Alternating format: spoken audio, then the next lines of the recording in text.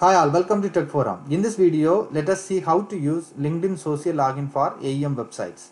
Social Login is the ability to present the option for a site visitor to sign in with their social accounts like Facebook, Twitter, LinkedIn and etc.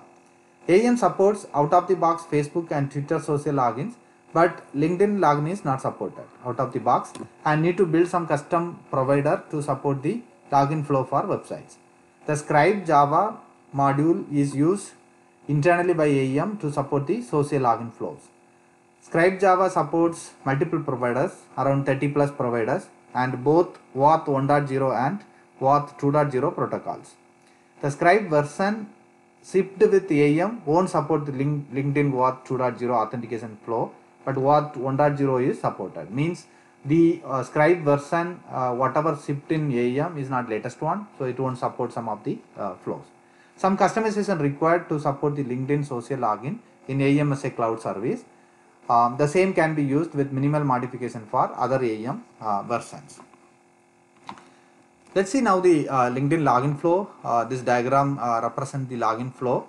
Now, if you see here, like it start um, uh, user invokes a AEM login URL first. That's the first step. We need to provide a login URL uh, user. Uh, then uh, AEM re- uh, redirects the user to a LinkedIn authorization page because the um, login is going to happen via LinkedIn. Now, user like uh, then authorize the request like LinkedIn request for authorization if it is a first time. Um, then like user should authorize. Once the user is authorized, then LinkedIn responds with a authorization code. The user is authorized and he is uh, he can get the required data. Once once AEM has the uh, access token, um, like sorry, once the AEM has the authorization code, AEM can request for a access token with that uh, uh, uh, authorization code. Now LinkedIn will respond with access token. Now then like uh, once we once AEM has the access token, AEM can request for a uh, profile data, basic profile data with the access token what we, what AEM received. Now AEM uh, LinkedIn is going to send a response uh, with the profile data. It will have something first name, last name, and some uh, what are the fields uh, we are uh, expecting from uh, LinkedIn. Mainly we are expecting first name and last name for our scenario. Now once AEM has the data, AEM can create in a if it is a new user or update uh, in case of existing user and let the uh, user log into the AEM repository. Now finally user logged into the repository, he can um, perform the activities what is what he has the permission. This is the kind, of some of the important URLs. Most of the URLs uh, are internally managed through the uh, by the provider. Um, so, but anyway, it's good to know that one is the AEM login URL. This is the URL uh, user should be uh, clicking to initiate the login. So, uh, J security check. This would be the syntax. Then you can change your your server. Maybe you can have some like a uh, parent path here, but it should be end with J J underscore security underscore check. Then config ID. This is like a LinkedIn. Where this is the config ID, ID of the uh, uh, what provider. What we are going to define in the later uh, steps. Now LinkedIn authorization page URL. This is the URL user will be taken for uh, authorization. Now we here uh, some values like client ID, redirect URI, scope, um, response type. It should be always code. Now access token URL. So here again see access token. We need to specify the grant type, authorization code, client ID, client secret, the code. Code what we received as part of these steps. Redirect URI. Then um, retrieve profile data. So this is the URL v2 slash me. Then uh, we need to say projection what values we are expecting. So uh, if you don't want to say that also fine, but uh, I'm just saying I need ID, um, localized first name, localized last name. So you can take the first name and last name also, but that then you need to do some JSON parsing. So it will uh, the syntax is going to be little different. So but localized first name and localized last name will give a direct value. So that's what I am taking this, but you can change it. Then we need to pass the access token, but the variable name should be oauth2 access token. Um, the access token what we received earlier. You can refer this um, Scribe Java uh, modules here. So this is the uh, Maven repository. Uh, the latest version is 137. Uh, this is the GitHub repository. So you can uh, refer the uh, code if you want. The overall steps are going to be below. Uh, first, first step is like we need to set up a LinkedIn app. Then we need to set up the custom LinkedIn uh, OAuth provider. Then need to configure a service user. after that we need to enable uh, configure the OAuth application and provider enable the OAuth authentication then we should be able to test the login flow so then we, we are going to uh, discuss about other two items like en- encapsulated token support and Sling distribution uh, user synchronization okay um, as a first off uh, now we should set up uh, the OAuth app uh, from LinkedIn. Uh, so for that what we can do is let us log into LinkedIn developer account.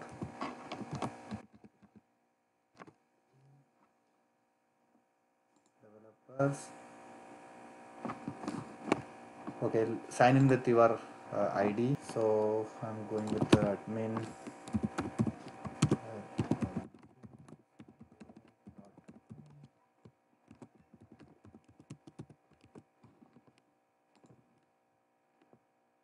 okay uh, now here you can see uh, click on create app. So enter your app name here AEM then yeah so here you need to um, uh, create a uh, new LinkedIn page. It's a kind of a company uh, configuration or you can link to the existing one. So my case I'm uh, linking. So you, it has some uh, some step uh, series of steps you to follow if you want to create a uh, new LinkedIn page.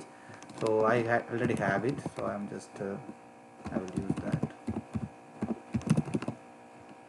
yeah so now this is fine. Then you can add a logo. So this is okay.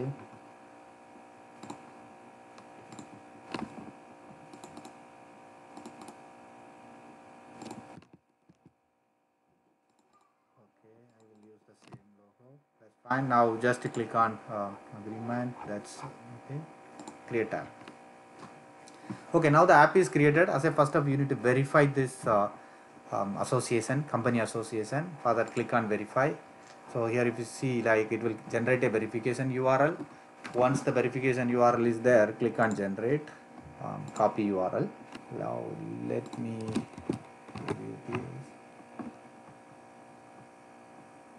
okay it says like uh, um, association aem to tech forum learnings. So approve the verification. Done. Now if i come back here i am done refresh the page. It may take some time to uh, reflect. Okay it's verified. That's fine. Now come down. So yeah. So here everything looking fine. Now go to auth section. Now you can see a client id and a client secret here. And no permissions added now. Now we need to add the redirect url so the redirect url you can add it as this. Uh, localhost for 4503 um, sorry not this. Okay this one uh, localhost 4503 callback. Again j underscore security underscore check. Just to copy that and uh, add that. You can add multiple uh, redirect urls i'm going with uh, only one right, now. So this is fine. Okay this is fine now. Let's go to the product section uh, tab. Then here you need to add a um, available product. So here sign in with linkedin. This will enable the required permission to the app. So just click select. Okay that's fine. Add add product so products but it will take some time. So if you see here like you will say like a review in progress. You need to wait for some maybe five minutes. So until this uh, app getting approved. Yeah. So now if you see here the required permissions are added. Uh, r underscore email address and r, r underscore like profile. Okay. Now uh, linkedin app is ready now. Um, so just copy this uh, uh, client id and client secret. Client secret like before copying first reveal this and copy it. Otherwise it won't work and keep it uh, somewhere. So these values are required to enable OAuth authentication handler in AEM okay uh, now uh, uh, the app setup is completed. Let us now set up the custom uh, linkedin OAuth provider. So as mentioned earlier AEM won't support linkedin authentication out of the box. Provider should be defined to support the authentication with linkedin.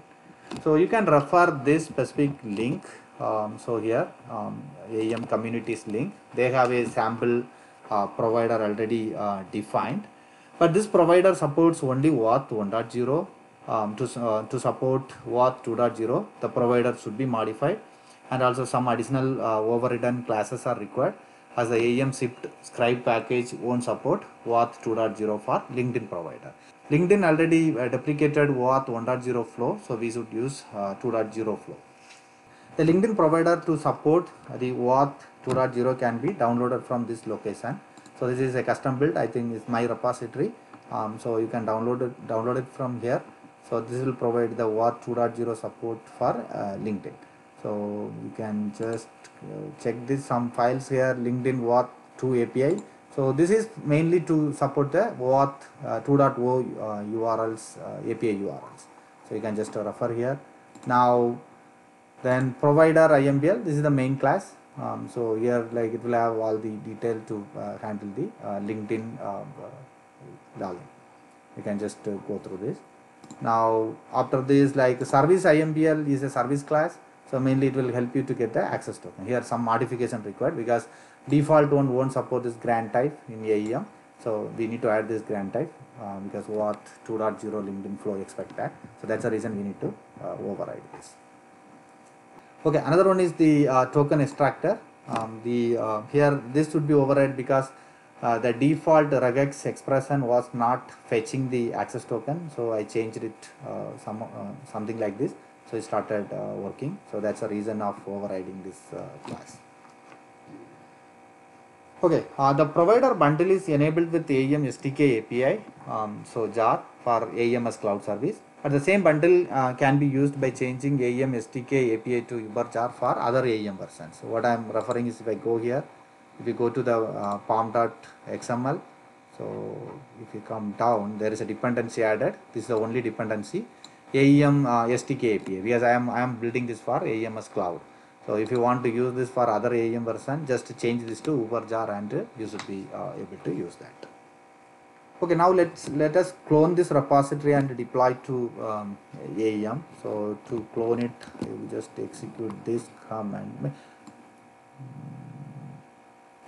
Okay i already cloned it. Um, so i'm not doing it again. Now what we need to do we need to install. So here i am going to install to the local localhost 4503 uh, publisher so you, if you want you can change this uh, 4503 to different port or even you can add aem.host to uh, like uh, deploy to even different uh, servers.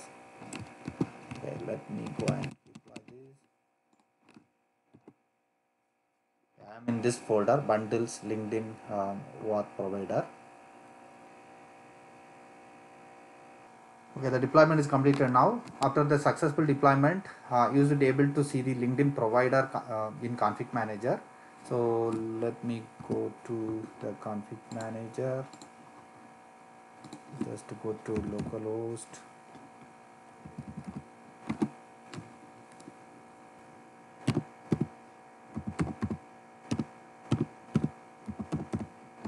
Okay now go to system console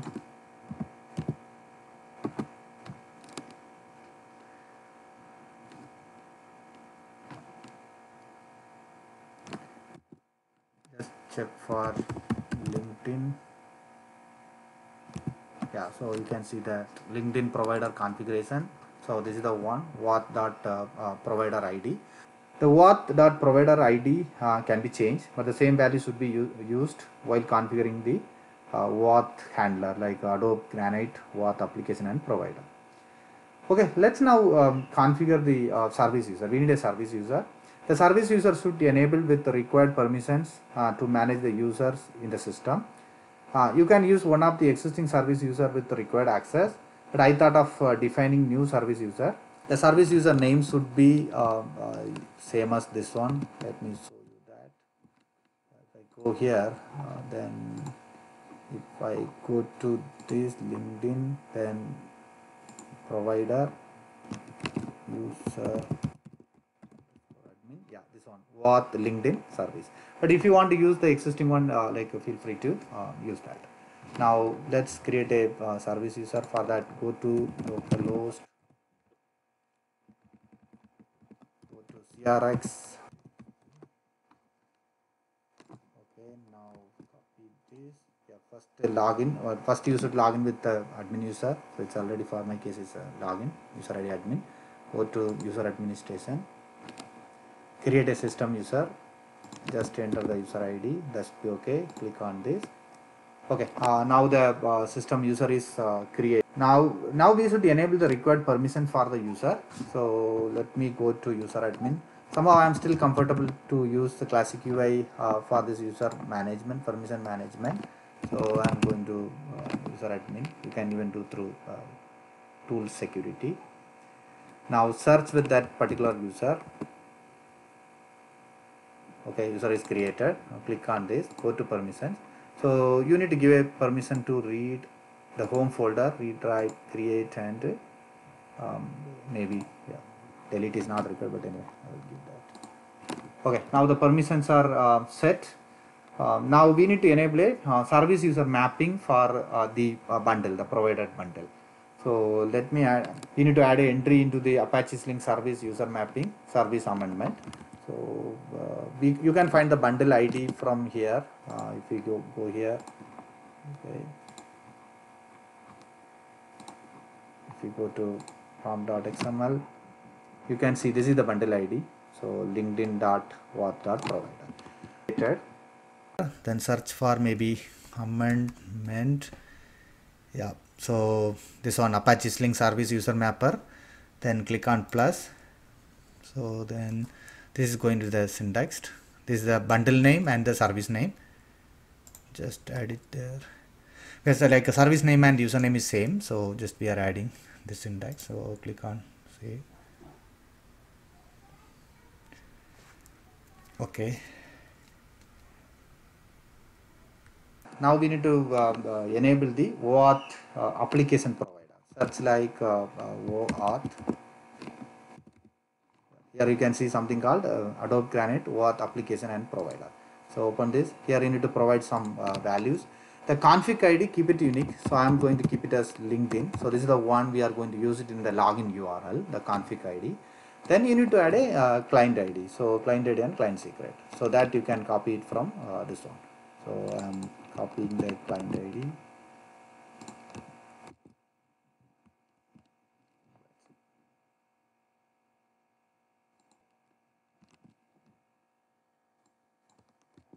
okay now you need to add the scope. So i'm going to add the scope of this two. This is space uh, like separated. So just add both the scopes. Even email uh, scope is not required because we are not taking any email but i'm just adding it.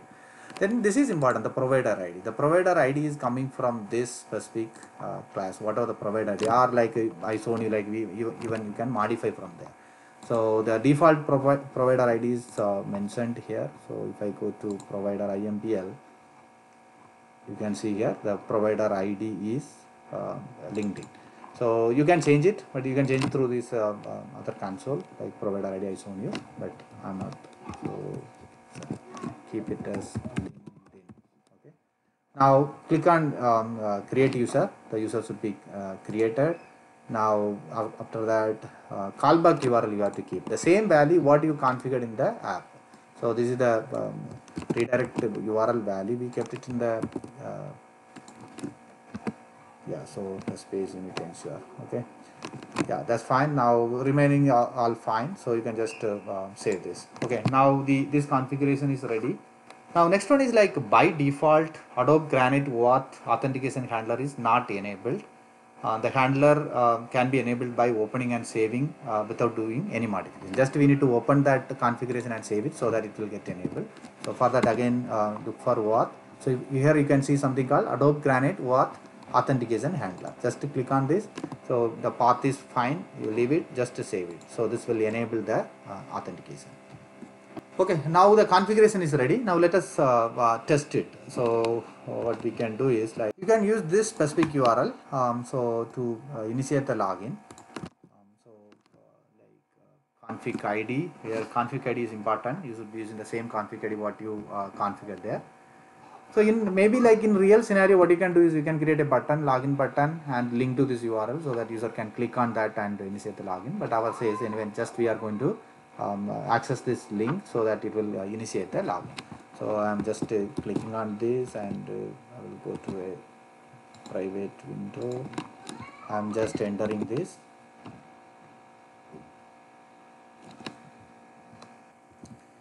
Somehow it's not going to the uh, linkedin authorization page. Looks to be some problem. Let me look in yeah like you go if you go to this uh, console components if you see like adobe granite OAuth linkedin provide it says uh, failed activation. Looks to be there is a problem. Let me stop it and start it. That's going to help.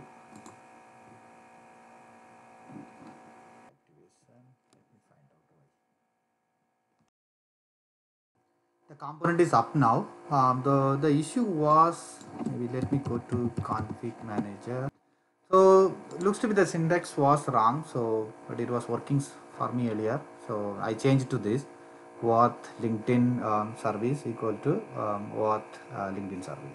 So after this started working. Maybe what we can do is like this service user creation step should be before even deploying the um, provider bundle so that it won't cause any problem. Yeah. Now fine like uh, uh, it's done. Now let me go and again access the same url okay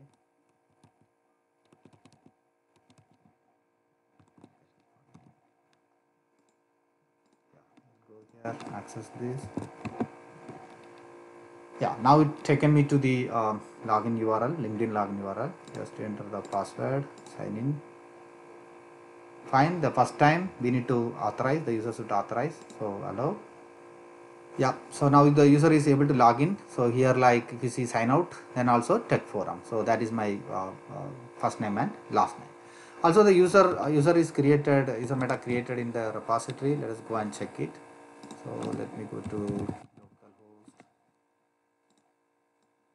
then go to crxd so you can go to user admin, but this will go uh, maybe I thought of showing it in that view. When you can search here, uh, the users will start with the LI for LinkedIn. Yeah, LI this one.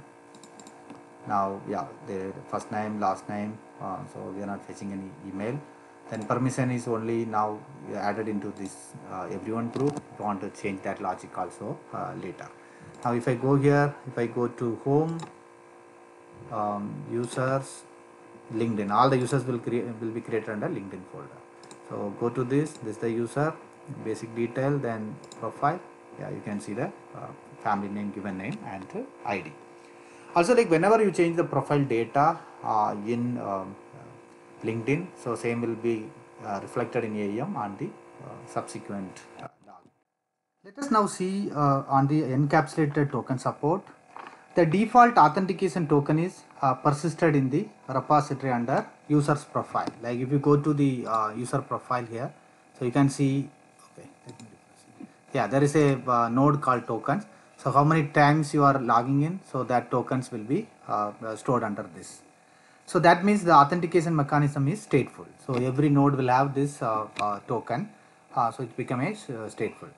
Token is the way, um, like uh, the encapsulated token is the way to configure stateless authentication. It ensures that the cookie can be validated without having to access the repository. It means so whenever there is a, the, the authentication flow is happening, so no need to uh, access the repository to validate the token.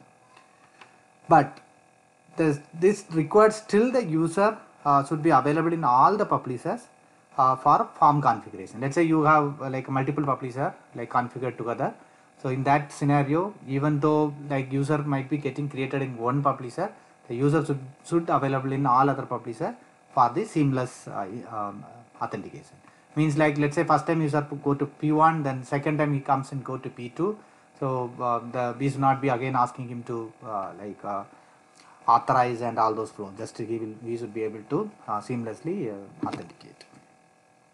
Let us see like how to uh, enable that. I will go here now search for token authentication handler just to go here now enable this just save so what I will do is now I will go to maybe this another tab so I will just enable will try to log in so I will select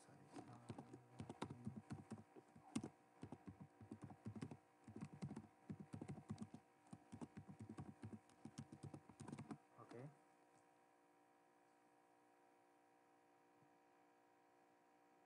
okay now logged in. Now if I go back here if you see the tokens are not created. So it means it's using the encapsulated uh, token option. Okay another one scenario is like a user sync um, like uh, uh, as i said earlier. So you have a multiple publishers and uh, uh, you should keep the users in sync um, so that user will experience the seamless uh, authentication. The user um, created in a publisher should sync to all the other publisher in the form to support the seamless authentication. I'm not finding good reference document to explain the user sync in aem as cloud cloud. As like uh, the communities features are not enabled in AMS cloud service. Earlier through that community feature uh, the user sync was enabled. But even we can use the direct Sling distribution but need little more configuration. Planning to uh, cover the user sync in another tutorial okay now the linkedin login uh, uh, capability is enabled for aem website. I will add all the reference detail to the uh, video description. Thanks all for watching the video. See you in the next video